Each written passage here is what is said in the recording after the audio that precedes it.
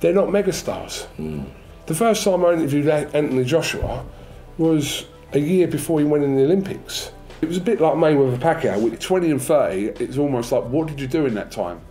I couldn't tell you because I wasn't really doing a lot. I was trying to figure out what I wanted to do. I knew I didn't want to just take a job for the sake of it. Bullying, as we know, leads to suicide in multiple cases. I've known people that have committed suicide over bullying. We know Even the connotations around it. So someone calling you that, but now it's like I don't. I haven't. No one's called me that in a long time. Because what they were saying to me while they were doing it was worse than what they were actually doing. Really.